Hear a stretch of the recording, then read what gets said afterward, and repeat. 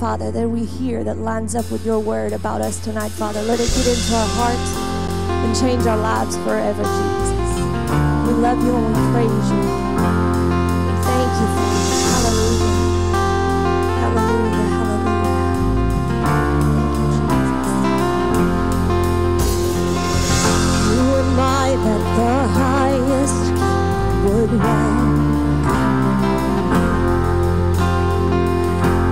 lost, what he brought me. No, he's not.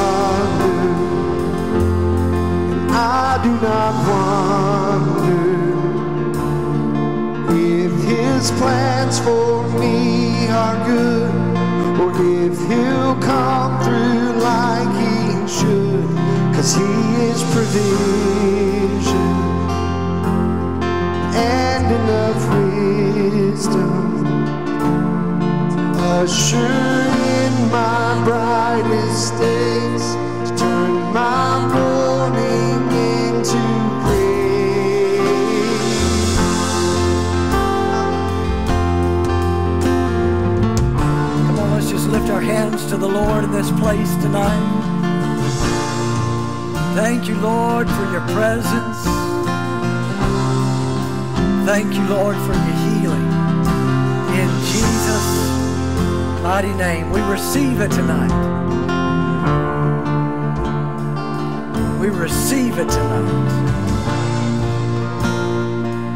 Isn't it good that God takes our spirits and our minds from being a victim to a victor? Amen. Yes. Knowing that we can overcome in all things, praise God. We are victors in Jesus' name. Are y'all ready to receive something good from the Lord tonight? Take a few moments, greet your neighbor, and tell them tonight is your night.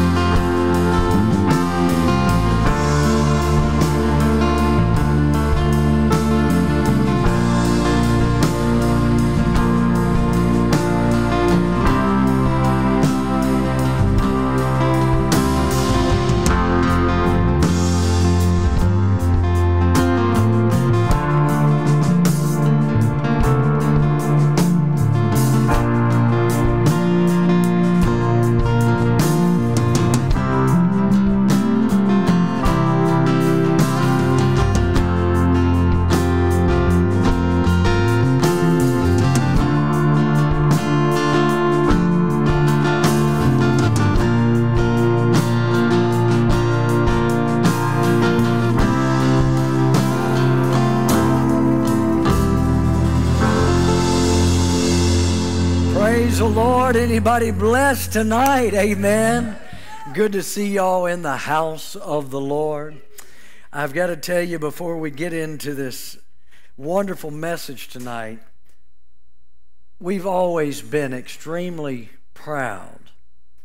Proud in a good way, just like our Heavenly Father is proud of us when we do the right things. But we've always been proud of how this church comes together in donations and when it comes to missions and things of that nature. And I've just got to tell you, that bake sale Sunday that the kids put on was out of this world. And amen. Praise the Lord.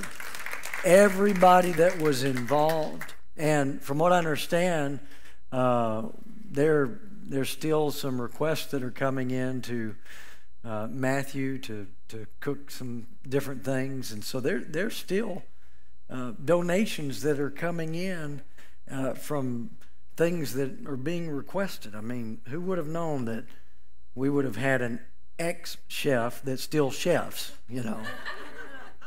and has done an, an, amazing job. And of course, the kids just, many of the kids did so much themselves and helped cook, and it was just phenomenal. And I can only tell you just a tidbit of it because we are still tallying everything that is coming in. But Brother Ronald uh, C is with us here tonight, and and here in a few weeks he's going to be going to Peru. And so I I talked to him yesterday and asked him, "What are you believing God for, brother? What do you need?" And he said, "Pastor," he said, "You know, the prophecy that you gave this year about it being a year of rest." And it being easy, he said, God is bringing it all in. And he said, You know, we probably just need a, a few thousand dollars. And I just grinned on the other end of the phone. I said, I think we're going to be able to meet every need that you have just from these kids coming together. So, in a couple of weeks, we're going to have a uh, uh, just a special moment on a Sunday morning with him coming back and the children presenting to the, to Him uh, for those children in Peru. And I am looking forward to that moment. Amen. So I want to thank you from the bottom of my heart. Thank you from World Victory Church because the success that we saw on Sunday is exceeding abundantly above all that we could ask or think. And it's changing lives. Amen. Are y'all ready to receive something amazing from the Lord tonight? Let's turn in our Bibles to the book of Proverbs, chapter 3.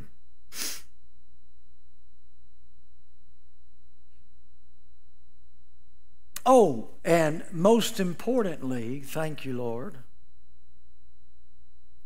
We thank God for the, the mission, but two children gave their lives to the Lord also on Sunday in the process. Praise the Lord. Let's give the Lord some praise for that. Hallelujah. I probably don't speak enough about what's happening in some of the uh, facets of ministry, but man, it just it just touches my heart when you hear of some of the children that we've known that's been with us for some time and they get it and they're like they make Jesus the Lord of their lives and isn't that awesome? Praise God.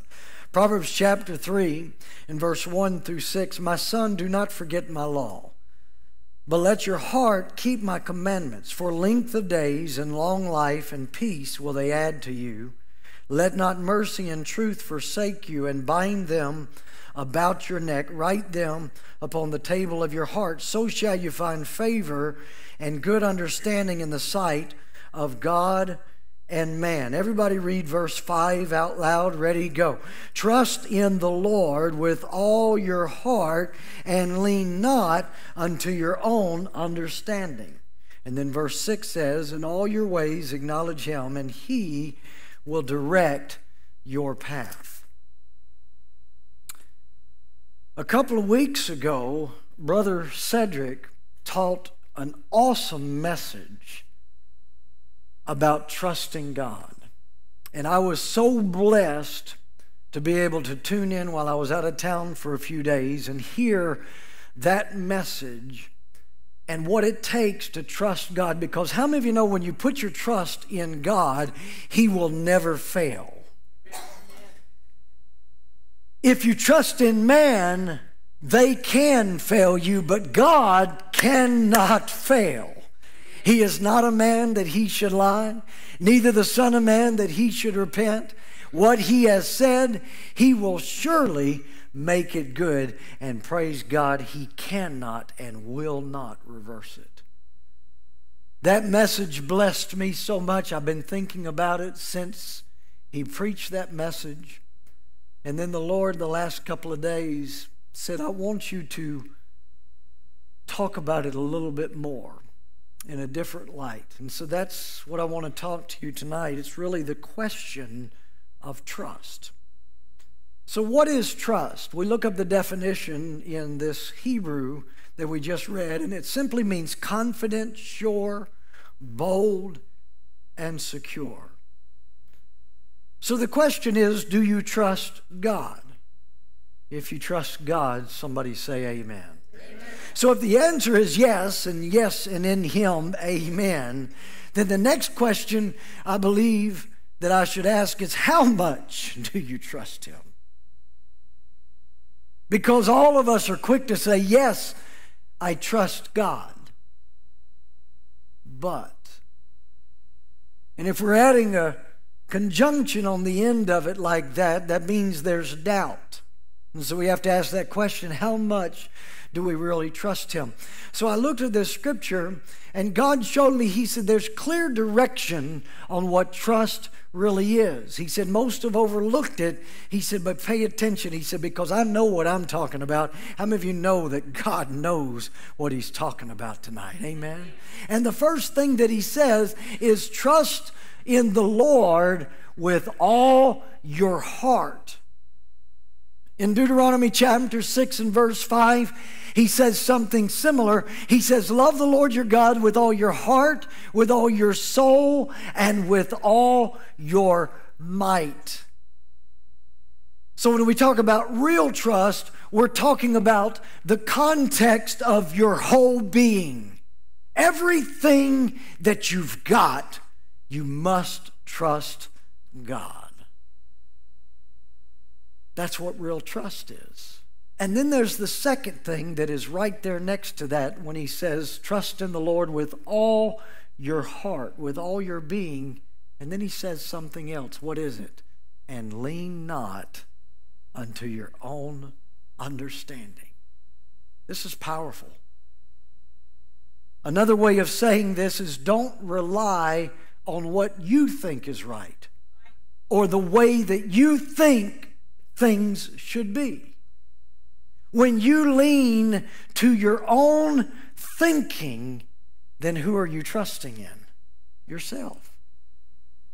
And you're taking your confidence away from the one that can really move that mountain for you. Praise God. Isn't that powerful? My thinking must line up with God's thinking, not the other way around.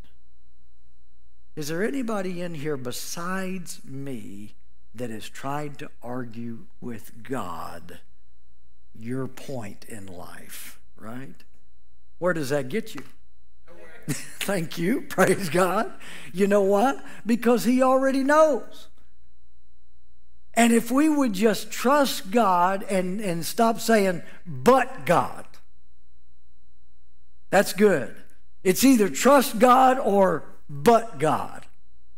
I trust God, and when I trust God, there's no conjunction that takes it away. Hallelujah. And so when he says, don't lean into your own understanding, don't tell God what you think. Don't try to put him in your box. Just do what he says and trust. You know, and, and, and wouldn't you agree that if you really trusted God, that when He speaks, that you would really be very quick to act? Everyone has heard this saying in this house trust is earned. And how many of you believe that? Certainly. Somebody wants you to, to trust them, then they have to show proof that they can be trusted. And that's why I mentioned the scripture that God is not a man that he should lie. See, I, I've always believed that uh, seed time and harvest is a way of life, especially for the believer. And so everything that you do revolves around your actions showing your character, and your character ultimately showing your identity in Jesus Christ. And so when you go to work, you should be on time. When you pay your bills, you should be on time. When you tell somebody, I'm going to be here, you should be there on time. Now, we've all made mistakes, or maybe something came up where we have forgotten or we let something slip, and that's what's called God's grace, but you don't make a habit of those things. When you tell somebody you're going to do something, you do it, and then people see that, and your trust then is earned, right? Well, how many of you believe that God has earned the right for us to trust Him with everything? I believe there's no question about that. And He has certainly earned that right from us for us just to simply say, God, I trust you, and whatever you tell me to do, I'm going to be quick to obey. So when I was meditating on this this week, the Lord said something else to me that blessed me because it coordinates with a prophecy for this year. Does anybody know what 2022 is? The year of rest. Somebody say, This is my year of rest. And you know, we're right here going into the middle of May, and maybe you said, Pastor, I haven't received that rest yet. It is yours now in Jesus' mighty name. The devil has been fighting that prophecy from the very first moment that they came forth out of these lips to you because the devil does not want you to experience it now, but more so, he doesn't want you to experience what God is going to do through that prophecy this year and in the years to come. Because, see, when the world is in turmoil, we've got to get the understanding of the prophecy this year so we can experience it all the way until Jesus comes back. Hallelujah. And if that's next year or five years from now, it doesn't matter. We're going to experience God's rest. But we have to understand what it means to be in spiritual warfare and to take what God has given us so that we can run with that vision. God said this to me today. He said, The understanding of trust also coincides with rest. I said, Now that's interesting. The place of real trust provides you with perfect rest. And, you know, as much as I knew that in my spirit, it just said so much to me when the Holy Spirit spoke that in my heart. This is the place where there is a calm in the middle of a storm. This is the place of peace when things don't look like it's going to be all right. When someone says, Lord, I trust in you, the real verbiage and the meaning should be this Lord, I rest in you. Doesn't that mean something? Lord, I rest in you. That's a place of real trust. People all the time say, how many of you have heard people say this? I'm just trusting God. But they don't have any rest. So that's not real trust, is it? It's empty words, and empty words bring empty promises. So when you're really trusting God, there's a place of rest. So tonight, and there's hundreds of them I could have mentioned. I want to go through just for the next 10 minutes or so through some of these scripture that God brought to my attention out of the book of Psalms. Y'all ready for this? Let this sink deep into your spirit. Psalm chapter 18 and verse 30. As for God, his way is perfect. The word of the Lord is tried. He is a buckler to all of those that trust in him. The word buckler means protector and shield. So God is my protector and my shield if I put my trust in him. How many of you thankful for God's protection in these days? Amen. We, we talked a little bit about that on Sunday about the spirit of fear, that God has not given us a spirit of fear, but of power and of love and of a sound mind. And I will not be afraid of ten thousands of people who have set themselves against me round about. Why? I won't be afraid because my trust is in the Lord. And if my trust is in the Lord, He will be my shield. Psalm chapter 20 and verse 7. I thought this one was real interesting. Some trust in chariots some may trust in horses, but we will remember the name of the Lord our God. Why is the name of the Lord your God important? Doesn't the Bible even prophesy that the Gentiles will trust in his name? The greatest name that has ever been named is that name, Yeshua, which we know is Jesus. And all over the years, the devil has been trying to take away from that name because he knows that there is power in that name. And if somebody truly trusts in that name, then that name will cause every other name to bow the name, bow to that name. Every knee must bow to the name of Jesus. And I've said this before and I'll say it again the enemy's trying to take away from the power of that name. People say that name with just looseness of lips. But there is no greater name than the name of Jesus. Hallelujah. And so when it says the Gentiles will trust in his name, you're looking at a Gentile that trusts in that name. Hallelujah. Thank God for the name of Jesus. Wasn't it Peter that when he raised up the lame man and they questioned him about it? And what he said was this His name, through faith in his name, hath made this man whole. Faith is trust. Faith is confidence in God. Faith is assurance that God said what He said He will do. How many of you trust that what God said in His Word, He will do? Amen. You know, I've preached a lot in this house about God's healing for our bodies, and I believe we're coming to a place that we trust God for total healing for our whole being, for our spirit, our soul, and our bodies. Can I have an amen?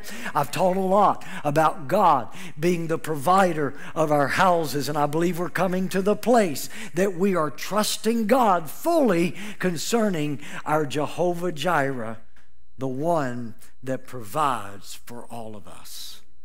You know, go from El Shaddai to El Shaddad. He is personal to me, and He is my provider in Jesus' name. Amen. Some may trust in chariots, some trust in horses, but we will trust in the name of the Lord our God. You know, something that I have uh, learned also I don't have to trust in the system in this world to supply my need. I trust God. You know, I, I, I didn't even share a lot of this on Sunday, but just briefly, I, I can remember the days when Andrea and I were living from paycheck to paycheck and believing God for God to provide. And there were times, church, that when we were still growing in our faith, and I, I will never forget that you know, I had people at times that the Holy Spirit would talk to And one time this guy came in, you know, and back in those days it was all hamburger helper because that's all we could afford, right?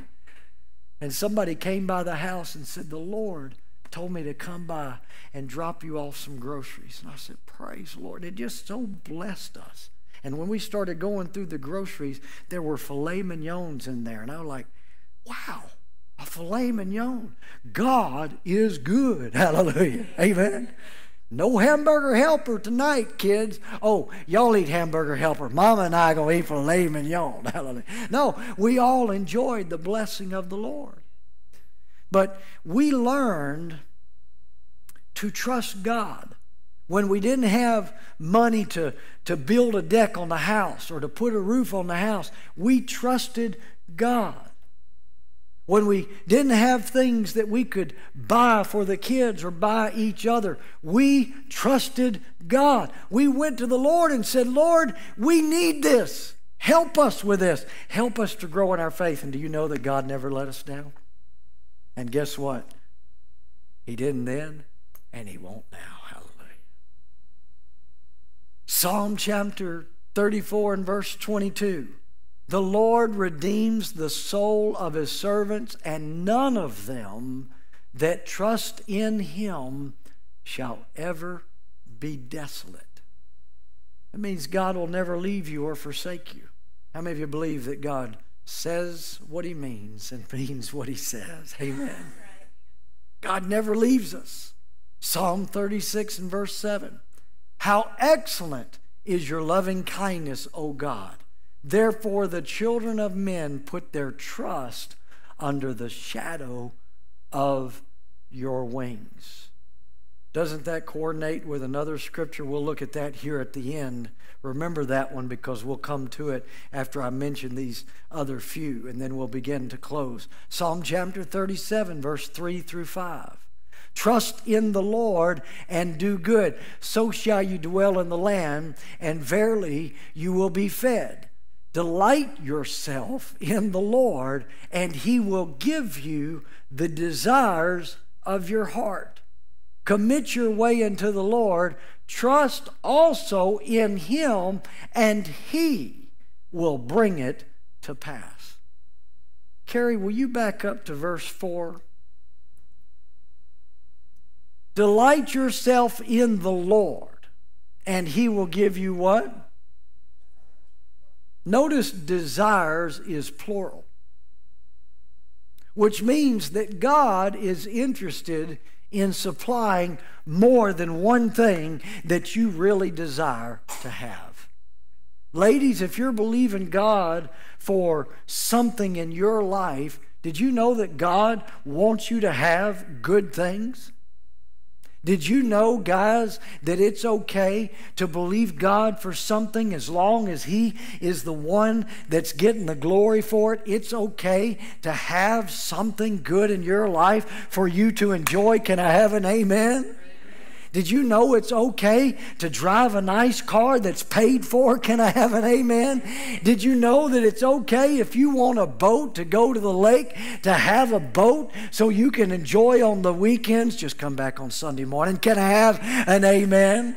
Did you know it's okay to have a beach house or to have a lake house or to have a house in the mountains? Can I have an amen? It's okay to have things as long as things do not have you. But how do you receive those things? See, we don't talk about the things so much because sometimes people don't have their heart in the right place. But this is what the scripture says. When you're following God and you're trusting Him, you're just like God. Thank you for all that you do. Lord, thank you for your goodness. I worship you, I bless you. And then while you're talking to him, you know what the Father says? What do you want? And then you're like Jabez. And Jabez, the Bible says, was more honorable than his brothers. What does that mean? That he was a better man? No. It means that he had his trust and his relationship in God. And guess what? He asked God for some things. And you know what the Bible says? God answered his every request. Isn't that powerful? So when you're communicating with God, God says, What do you want? And you tell him.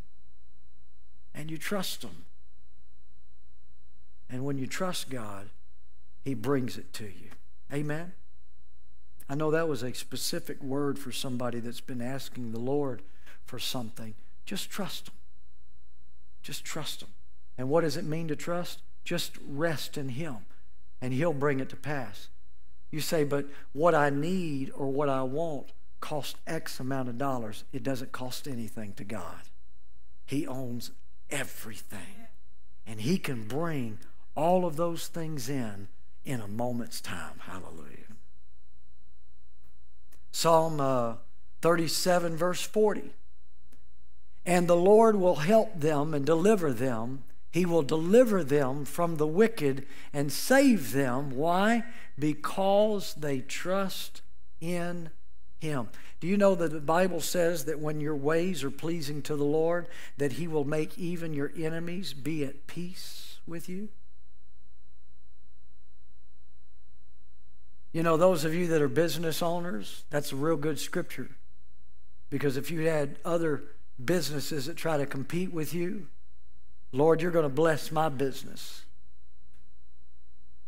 I just trust in you. I'm not going to focus on what that person is doing.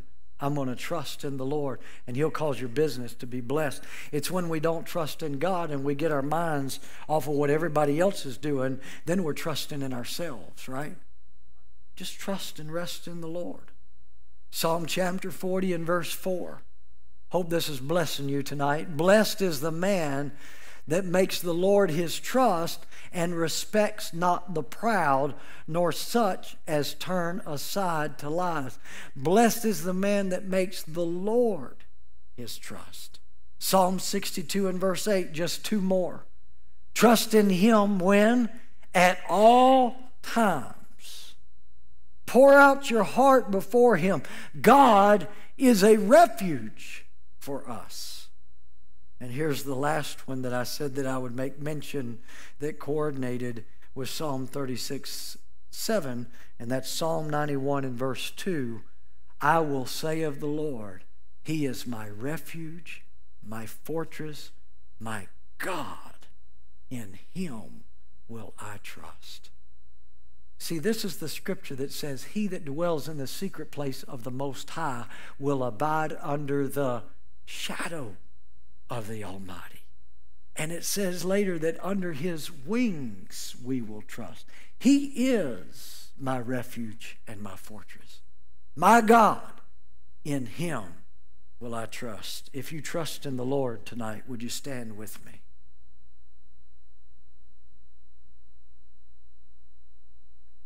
It's a place of perfect rest, a place of perfect peace. Lord, I trust in you. I will not put my trust in man. I will not put my trust in the system of this world. I trust in you. How many times, Brother C, have you been, it seems, up against the wall and all you had was trust? And God supernaturally provided every single time. Hallelujah. Amen. You know what I love about God is he never lets us down. Never has and never will. Amen. So, I ask again, how many of you here trust in God? Does that mean something to you now? It means with all that you have and not trying to figure out how to help God. Don't you think God knows how to get the job done? So just rest. And if He says go here, you go here. If He says go here, you go here. You know, I could probably spend all night and talk to Brother Ronald about how God brought him to us or us to him. Either way you look at it, God brought us together. But he had to make the effort to hear from God to come into this house. And once he came into this house, God then spoke to all of us and said, Join in covenant with what God is doing in this house. We got a hold of it, but then what was greater than that is the kids got a hold of it better than all of us. And one came up to me and wouldn't let it go. One. And then others joined in and said, I see that. And see, what you probably didn't know is that Brother Ronald's been over there with the kids for the last few Wednesday nights, and they've gotten the vision. And they've seen what God is doing. And then the faith of what they did Sunday, and we just we just helped them put it together. So it's a good thing, isn't it? But somebody had to believe God. Somebody had to trust God. That's what trust will do. He never lets us down. Never has and never will. Hallelujah. I bless you in the name of Jesus. I decree God's best over your life right now. Lord, make your face shine upon them and be with them everywhere they go. We thank you for your blessing, your healing, your prosperity. Your promises are sure. We receive it in Jesus' mighty name and we trust in you. Go out and be blessed and always remember the Spirit of the Lord is upon you.